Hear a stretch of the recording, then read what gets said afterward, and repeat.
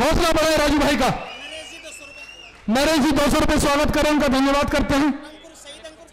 शहीद अंकुर परिवार के हिस्से हैं। एक हज़ार रुपये का स्वागत सहयोग कर रहे हैं। और दो बस लेके आए हैं। संमित्रा गौतम पत्नी शशि भूषण पुत्र वधु मंगल लाल गौतम। एक हज़ार रहे पर दस हज़ार देने चाहिए उनको।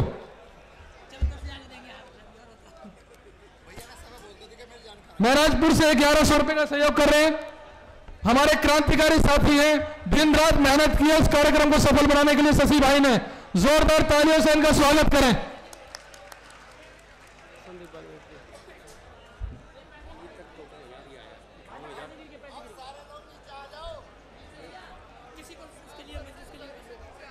डॉक्टर बी आर अंबेडकर समाज विकास संगठन, अमर विहार दिल्ली। पाँच सौ रुपए का सहयोग कर रहे हैं हम इनका। धन्यवाद करते हैं। जोरदार तालियों से इनका स्वागत करें।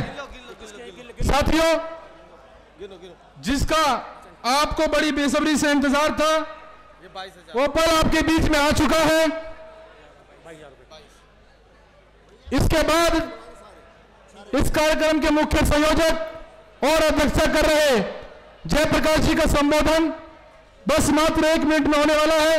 गाजियाबाद से जल निगम कॉलोनी राजनगर से बाईस सौ रुपए का बाईस हज़ार का सहयोग करें उनका। जोरदार तालियों से धन्यवाद करें। गाजियाबाद जल निगम कॉलोनी राजनगर से बाईस हज़ार रुपए का सहयोग कर रहे हैं। तहे दिल से इनका धन्यवाद करते हैं। और आप लोग जितने भी साथी मंच पर बैठे हैं, खड़े हैं, वो नीचे मंच से उतर जाएँ।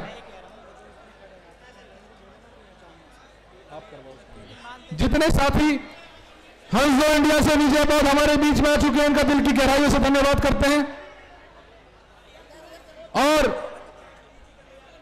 मैं आमंत्रित करना चाहूँगा, इस कार्यक्रम के मुख्य संयोजक अध्यक्षता कर रहे पूर्व में रहे बहुजन समाज पार्टी के राष्ट्रीय उपाध्यक्ष भाई जयप्रकाश जी, जो जिन्होंने सत्रह वर्ष से बहुजन समाज के लिए निस्वार्थ सेवा भाव से काम कर रहे हैं। जिन्होंने अपना घर त्यागा यह निर्णय लिया कि मैं शादी नहीं करूँगा। ऐसे क्रांतिकारी वीर को आप जोरदार तालियों से स्वागत करके संबोधन करें इनका। भाई जयप्रकाश, हमारे बीच में इंग्लैंड से मलकी सिंह बहल भी आ चुके हैं। हम जोरदार तालियों से आप इनका स्वागत करें और आप लोग, मैं आप लोग से रिक्वेस्ट करता हूँ ये बाद में सब बाद में मैं आप लोगों से निवेदन करता हूँ कि जयप्रकाश जी का संबोधन हो रहा है।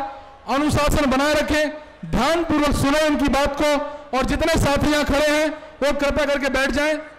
आप लोगों से मेरा निवेदन है।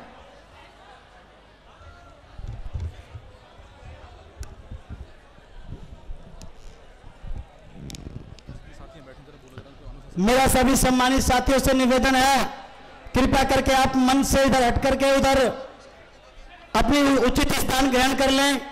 भाई साहब, आप भी प्लीज़ उधर बैठ जाइए आप, उधर बैठ जाइए, पाँच मिनट की बात है।